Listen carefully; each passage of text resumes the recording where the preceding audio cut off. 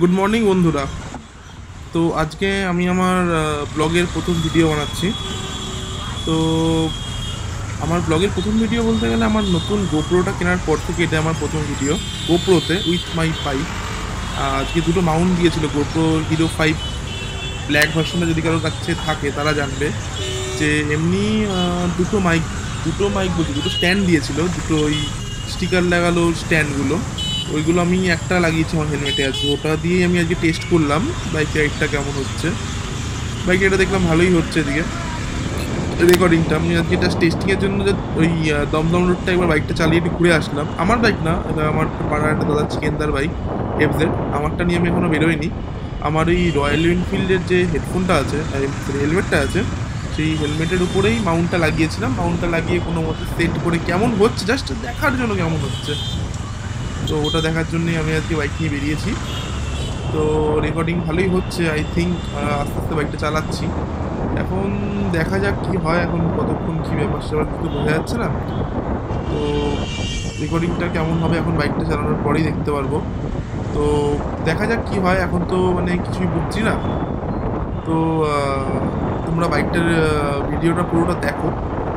পুরোটা কি হয় দেখা যাক। আজকে আমারও প্রথমবার। আমি হ্যাঁ আরেকটা জিনিস, আমার হেলমেটটা হচ্ছে থুতনির ওই জায়গাটা, যেটা আমাদের এই মুখের এই সাইডটা যে পার্টটা থাকে, ওইটা নেই। I mean full coverage helmet নয় আমারটা জাস্ট একটা কান ঢাকার মতো এইটুকু একটাই আছে। তো তখন ওটাই আমার মেন সমস্যা যে ফুল কভারেজ হেলমেটটা নেই। তো ফুল কভারেজ হেলমেটটা নেই যখন আর কি করা যাবে, কিছু করার নেই। তো আমি মাথার উপরেই মামার মাউন্টটা লাগিয়েছি। মাউন্টটা লাগানোর পরে এই ভিডিওটা রেকর্ড করার চেষ্টা করছি। এখন দেখা যাক কি হয় কিছু বোঝা যাচ্ছে না। মাথার উপর লাগিয়েছিলাম।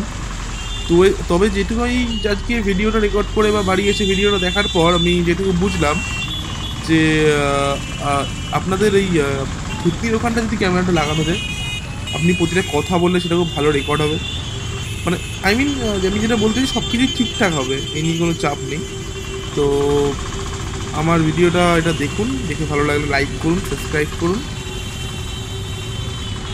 কমেন্ট করুন কমেন্টে কোনো কিছু জিজ্ঞেস করার থাকলে হিরো গোপ্রায় প্রো হাইপ সম্পর্কে বা রয়্যাল এনফিল্ডের সম্পর্কে কোনো জিজ্ঞেস করার থাকলে, আমি একদম সোজা কথায়, একদম সহজ বাংলায় আপনাদের আমি কোশ্চেনের অ্যান্সারগুলো দেওয়ার চেষ্টা করব।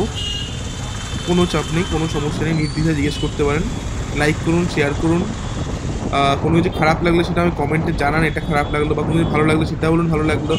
বা অন্য ধরনের কোনো ভিডিও বা অন্য বাইকের ব্লগ যদি দেখতে চান, সেটা আমাকে বলুন। আমি স্পষ্ট বাংলায় কথা বলি আমার এই নিয়ে কোনো কোনো সন্দেহ নেই। আপনারা আমাদের সাথে, আমার সাথে বাংলায় কথা বলতে পারেন। বাংলায় রিপ্লাই দিন, বাংলায় কথা বলুন, ইংরাজিতে বলুন, হিন্দিতে বলুন, কোনো সমস্যা নেই। আমি যেহেতু কলকাতায় থাকি, তো আমি বাংলাটাকেই ফার্স্ট প্রিফারেন্স করছি অনেক বাংলা ব্লগার আছে কলকাতায় যারা হিন্দিতে কথা বলে, ইংলিশে কথা বলে, আমি বলি না, দরকার নেই, বাংলায় কথা বলব।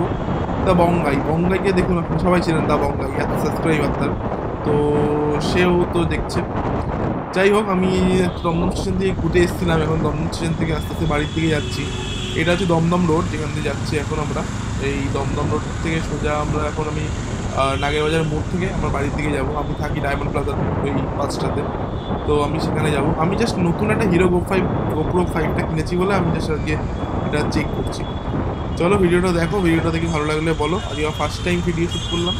তো আমি সেটাই আপলোড করছি আজকে। চলো, টাটা গুড বাই ভালো লাগলে লাইক করো সাবস্ক্রাইব করো কমেন্ট করে জানিও কী ভালো লাগল খারাপ লাগল। অবভিয়াসলি বারবার বলছি কমেন্ট করো চ্যানেলটাকে সাবস্ক্রাইব করো, বন্ধুদের সাথে শেয়ার করো ভিডিওগুলো দেখে ভালো লাগলে অবভিয়াসলি লাইক দিও। চলো, টাটা।